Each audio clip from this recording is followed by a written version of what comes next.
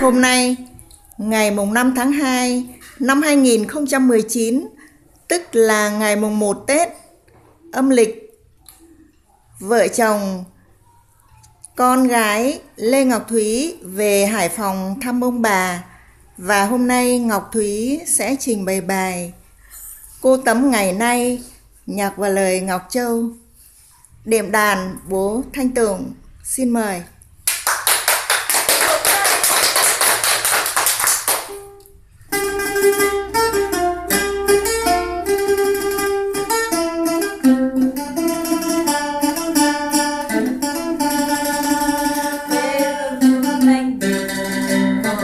and